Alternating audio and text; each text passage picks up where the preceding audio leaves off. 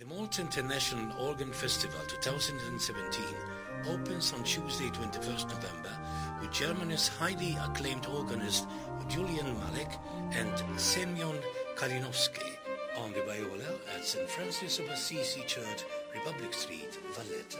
Tickets are available from ticketline.com.mt.